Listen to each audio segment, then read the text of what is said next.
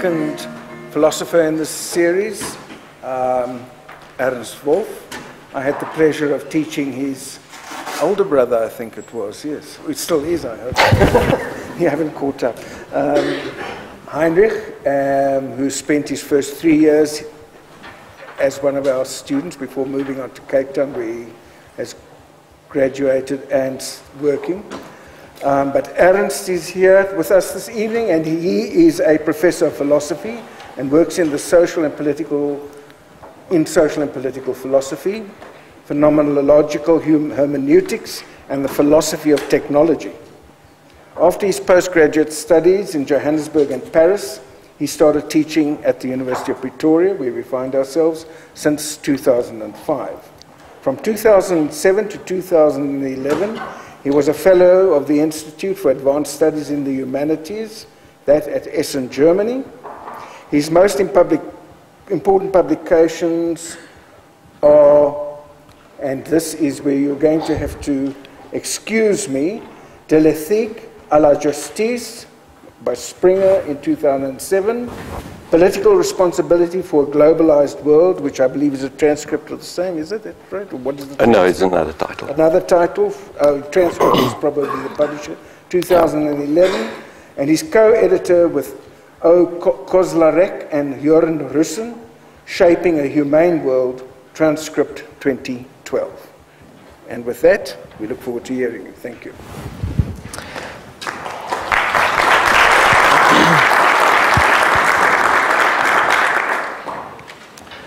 Uh, thank you very much uh, for that uh, generous introduction. I would like to start by thanking uh, uh, the sponsor of uh, this lecture series. I would like to thank also the Department of Architecture for forwarding me this opportunity and for those who spent quite some time and long exchanges of emails with me to organize it. Thank you very much. I've been hoping for an opportunity to think about architecture for quite some time. As it happens, I have a, uh, a family with uh, about six or seven architects in them, and I very often spend time with people thinking about the practice of architecture, but I haven't had the opportunity up to now to uh, really think about it and form some of my own opinions about that. So I thank you very much for this opportunity to uh, discipline myself and put something on paper. In fact, um, so much that I um, appreciate this uh, opportunity that it became so fruitful that I have more than I can present here tonight. So what you have here is about half of the things that I would have liked to present to you, and uh, I will refer to the, uh, to the other half only right at the end of, uh, of this lecture. Let me start with what uh, Christoph Heinz uh, last week in a lecture called Expectation Management. I shall not speak for philosophy. Philosophy is not one thing, and I do not claim to be able to speak for all its divergent forms. It's common knowledge that you have European philosophy, African philosophy, Chinese and Indian philosophy. And within each of these disciplines, you get a subdiscipline, or within each tradition, subdisciplines, philosophy of science, political philosophy, philosophy of technology, cultural philosophy, and so on and so forth. And from each of these different perspectives, you could engage in a quite interesting, legitimate way with uh, architecture. I speak only from a province very roughly mapped out by the overlapping of phenomenology, hermeneutics, and social theory. I shall use the term social theory again in this uh, presentation. I understand under social theory an interdisciplinary endeavor in which philosophy and sociology are uh, perhaps the two major role players. Then I would also like to say that I speak even from this very restricted and contingent point of view about another discipline and another set of practices, namely architecture, while anticipating the indispensable dialogue, discussion, debate, and correction that should come from you, the practitioners and theoreticians of architecture, as we try to reflect together about the world in which we live. This being the case, I present this paper as a possible framework for one among many possible dialogues between architecture, and philosophy. Let me start by showing you the outline of my presentation. Uh, first, I will give you a short working definition of architecture and discuss that. Then I shall frame the question that will guide me through this uh, presentation in terms of the opposition generalities and singularities. In the most important part of the essay or of the presentation, I shall give you something like a simplified the social phenomenology of human-human and human-artifact relations. And on the basis of that, I shall focus in or zoom into uh, one specific kind of human uh, artifact relation, and that is the relation with uh, buildings.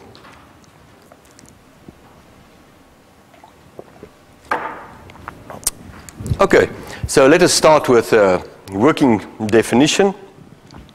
I define architecture as the practices of intervening in the ongoing processes of human habitation.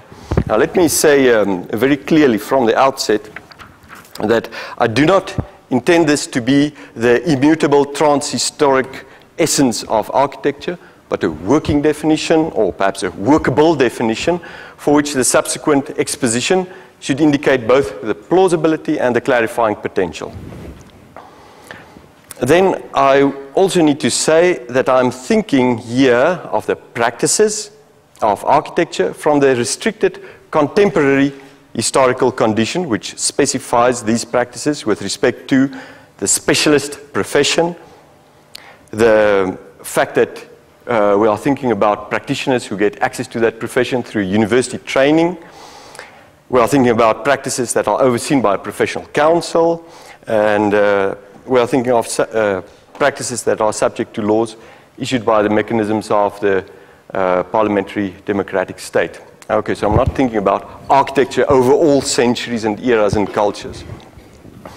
Uh, let me uh, now run through the terms of this definition in order to make clear what I shall be speaking about. Okay, there are my qualifications. Let me focus first of all on the phrases practices of intervening and processes of habitation. My approach to architecture is a socio-theoretical one, and more particularly an action theoretical one. Architecture will be understood as a form of social interaction, and let it be stated from the beginning that the two action groups that are involved in these two actions, in my definition, are coordinated in such a way that the primary role is considered to be that of other people as they continue with their habitation. Architects only intervene in this ongoing process according to the description that I shall uh, provide. Now, starting with the second half then of the definition, um, I would like to say just something quickly about human habitation. Habitation is a general characteristic of uh, human life. It's not merely a part or an episode of human life.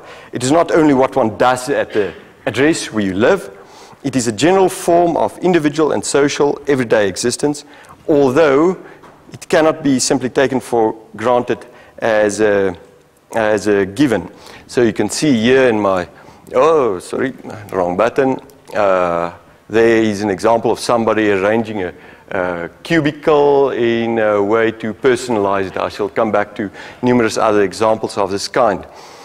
Uh, you can think of uh, people living under conditions in which their ability to uh, to dwell, to inhabit the world has been disturbed very severely. I think of uh, refugees, but even here, if you look at that uh, picture on the right hand, you see that woman sitting there on uh, blankets that she packed out in order to protect her garment from the soil. And look at that person there protecting himself against uh, the sun with a blanket and so on. It is very difficult for a human being to stop inhabiting the world, even though in that uh, situation, these are Tamil refugees in Sri Lanka, they are under severe strain, as can be uh, seen obviously from the picture. So for current purposes, I shall simply posit that habitation, in this sense, is a crucial component of human well-being. In fact, that the wish for a good quality of inhabitation is part of the human aspiration to live well with and for others even in just institutions. As such, the effort to enable one or to help others to inhabit their part of the world well is an ethical project. I shall refer to this again just at the end of the conclusion, but this uh, needs to be developed uh, somewhere else. Okay. Previously, as in the uh, summary of my presentation, I used the expression uh, arts of intervening instead of practices of intervening. Now, the term art would still be appropriate here if um, one understands by art something like a skillful, knowledgeable arrangement of means by which, in this case, habitation is facilitated, qualitatively improved, or in pathological cases, then obstructed or uh, inhibited. But I shy away from the term art because although I have no objection against uh, recognizing in architecture an artistic moment, artistic in the sense of fine art, it may, in my mind, lure one misguidedly to a number of modern ideas about art and artists that simply do not fit architectural practice. Its similarities and affinities with fine arts do not represent, in my mind, the essence of architectural practice. I imagine you would like to, me to discuss this. That'll also have to wait for another time, but this is why you will see that I do not present architecture here from point of view of aesthetics, for instance. Okay, now the term practices seem therefore a bit more suitable to describe architecture. Architecture is a set of practices which intervene in the processes of human habitation, says my definition. However, it is not the only practice, set of practices of this kind. Apart from the associated practices of urban planning, landscape architecture, and uh, the rest, uh, one should also think of other practices that mediate our uh, relation to the world as inhabitants thereof. You'll see there, for instance, uh, uh, practices, cultural practices of welcoming. There you have uh, reference to religious practices. I don't know if you can see that there's a little box there at the entry of the door. It's a Jewish family gathered around the mezuzah. There it contains a a small piece of scripture, and it is uh, used to ceremoniously devote the house also to religious practice. And there you have uh, uh, children from Taiwan, I believe, uh, uh, welcoming each other in the world by simply playing together. All right. By the way, my photo is not out of focus. if you ever go to Taiwan, you will see that children are out of focus there. um, Um, consequently, if I use the term intervening, um, I necessarily use that in such a way to coordinate the primary, uh, uh, let's say, anthropological level of human inhabitation of the world and the practices of architecture, so that architecture is a profession of responses to pre-existing processes, to events that are more basic and even Uh, normatively more important than design. In short, in this presentation, my basic assumption, which is captured in the definition, is that what architecture is, can be, and can become has to be understood in its constitutive dependency on the complex of events of habitation.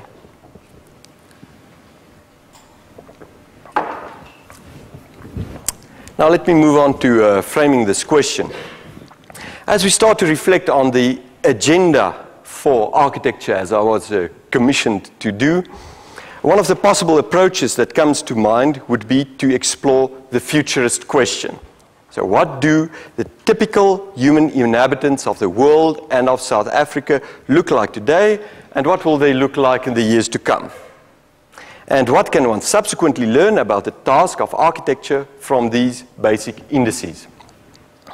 So one may, for instance, look up the indices and projections for population growth and life expectancy, percentage of population over the age of 65, or collect data on and projections on road density, form of urbanization, number of procedures to register property, number of mobile cellular subscriptions per 100 people, profile and access to medical services per sector of society, and so on and so forth. If you are interested in this, go to the website of the World Bank and you will find very quickly a list of 1,290 indices for South Africa. And if you are willing to pay a little bit, somebody will work out the projections for you on those too. Now, as impressive as the array of available statistics and projections may be, and even if the scientific credentials of these statistics and projections are entirely accepted, some of us may want to object. Is this not a false start? What are presented in these figures are either impersonal, macro perspective measurements or median projections involving the needs and desires of the average person of a particular region. This means that whereas one is likely to encounter a number of people who come quite close to the image projected by each of these indices, it is quite possible that one will never even encounter a single person who corresponds to something like an aggregate image thereof, simply because we speak here about types are the clients of architects' types. Certainly, we architects are not animals of types. We are sensitive to the particularities of the environment. We are in touch with the genius loci. We honor the will and whims of our clients. We respect the intricacies of the socio-cultural heritage of the stakeholders, and so on and so forth. Besides, is good architecture not a singular achievement of genius? An example inspiring other singular architectural projects, each in turn essentially the singular expression of the architect. Well, the conclusion to uh, my presentation of tonight will entail rejecting all of the simple yes or no answers to these questions as lamentably insufficient. This tension between the typical and the particular, between generalities and singularities, will accompany us throughout this presentation. Let us then approach the question from a different angle. So I move on to uh, part three of my presentation. Above, I've defined architecture with respect to the interference that the architect carries out in the lives of people and in the way they inhabit their world.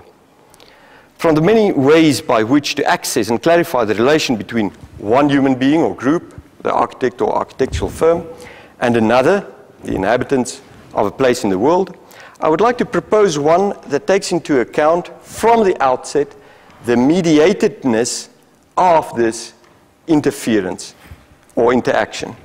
In other words, if an architect is someone who interferes in the process of habitation of other people, I invite you to focus your attention on the fact that this interference is both a human interaction and necessarily one done by means of objects.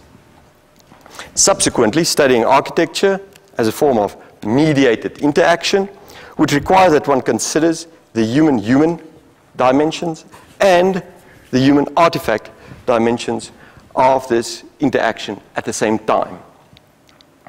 The manner in which I propose to do so is through the following hypotheses.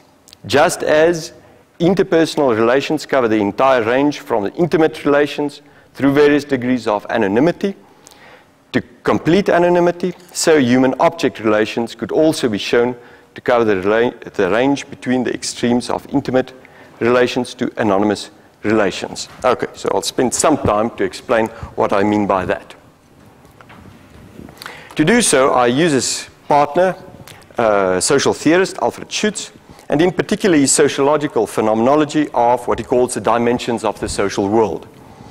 Schutz described how the variety of domains of the social world are formed according to the degrees of intimacy and anonymity that characterize our common interaction with other people. These degrees cover the whole range from the apparent directness of face to face relations with close friends and relatives, that is, where the other is encountered as a you, to all of the relations that shade away from that to types in degrees of abstraction or anonymity or generality. For instance, when we think about the citizen or the speaker of the English language. We all have informed or uninformed, sophisticated and unsophisticated, conscious and unconscious notions of the types by which these anonymous others are described. So, in the center of my presentation will be the idea of a type. But what now is this notion of a type and why is it so important? I would like to tell you a story of something that happened to me when I was a student. One night at about 3 o'clock, I was woken up by an immense noise in the block of flats where I lived. I heard people running upstairs and then knocking on doors and people yelling at each other. Slowly but surely, the volume increased until unmistakably I heard somebody uh, running up the flight of stairs. It was a wooden staircase, running up to my flat, and then banged on the door. So I got up and opened the door, and there he was. Black safety boots, a black protecting set of trousers, a fireman's jacket, I think it was even marked, fire brigade, he had a fireman's hat on or a helmet on, and around his neck was a gas mask. And then the guy yelled into my face, We are the fire brigade! So I thought that I should say to him, uh, Oh, I thought you were Jehovah's Witnesses, or something like that, at 3 o'clock in the morning. But I didn't, and this is the point. Why didn't I do that? Because I was responding immediately to what I recognized as a type. I understood immediately what was going on, and what was going on was not just having an image of what was in front of me, but it sort of suggested to me what I had to do. That was to shut up and listen to the second sentence, which was, the building is on fire. All right. And thanks to that, I'm here to speak to you tonight. Okay. Now, this example helps us to understand the description of the social interactive significance of types. I summarize this um, with reference to um, uh, people working in the same tradition as Schutz, uh, Berger, and Luckmann. Okay. First of all, what you gather from this uh, story from types, or what you should gather, is that others are dealt with through typifications. I typified the fireman. He typified me, by the way, as a typical citizen whose uh, feet are burning.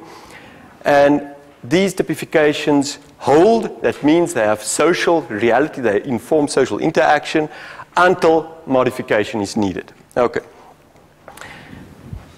Typifications involve a mirroring effect. Usually when we just simply act with other people,